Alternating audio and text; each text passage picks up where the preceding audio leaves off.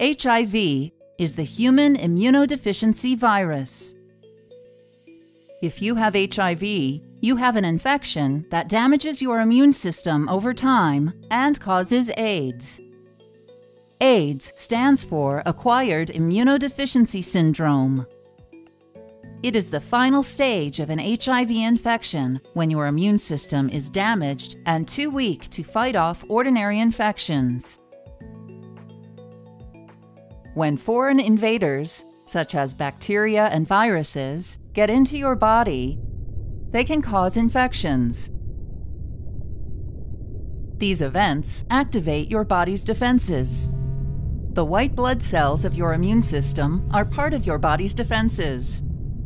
One type of white blood cell, called helper T lymphocytes or helper T cells, strengthen your immune system's response to infection in two ways. First, helper T cells release chemicals that attract other white blood cells to the site of the infection. These additional white blood cells attack the invading bacteria or virus, as well as other infected cells. Second, helper T cells release chemicals that cause other white blood cells to multiply These new white blood cells create markers, called antibodies, which can identify the same foreign invader throughout your body. Antibodies attach to the bacteria or virus, marking them as targets for your immune system to destroy them.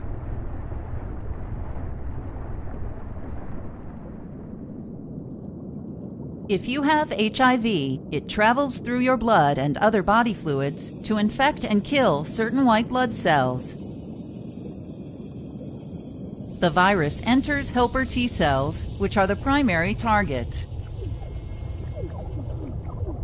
Once inside, the virus makes many copies of itself. As these virus particles are made, they leave the damaged helper T cell to infect other cells.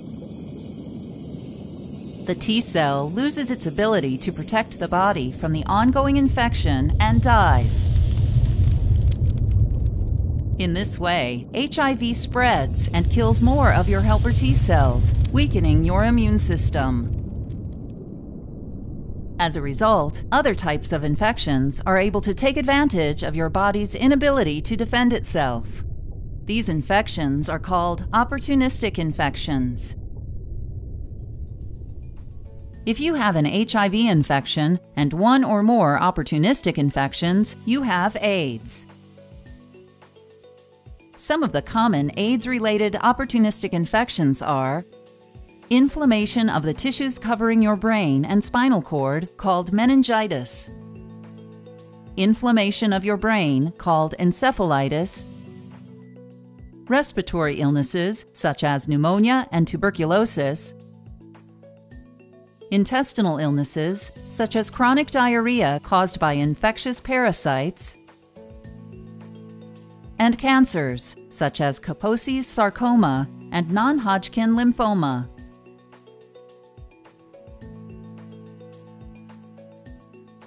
HIV passes from person to person through infected body fluids. HIV can enter your body during unprotected sex, while sharing drug injection needles, during your own childbirth, while breastfeeding from your mother, or from contaminated blood or blood products. Although there is no cure for HIV, Drugs called antiretroviral medications can reduce the amount of HIV in your body. One class of antiretroviral medication, called entry or fusion inhibitors, disrupts the HIV infection process by preventing the virus from attaching to your cells.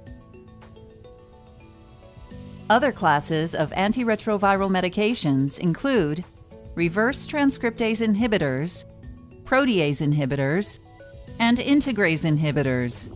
These drugs prevent the creation, assembly, and spread of new viruses. your doctor may prescribe a combination of these drug classes known as highly active antiretroviral therapy or HAART. Antiretroviral medication doesn't completely remove HIV from your body, but slows it down enough to enable your immune system to fight infections.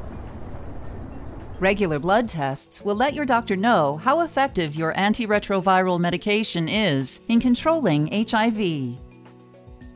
If the number of helper T cells is high enough in your blood sample, your medication is working.